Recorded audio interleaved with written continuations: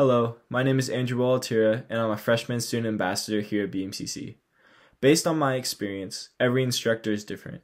Take some time during the first week of the term to learn everything you can about the course and the instructor's expectations. Read the syllabus. It is a contract between you and your instructor. If anything is unclear, ask right away. Obviously, attending class and turning in your homework are two things that you must do in order to successfully complete the class. Other things, such as being engaged with the discussions and listening to your classmates, will help with your understanding of the course content. Above all, ask for help if you need it. There are tutors available.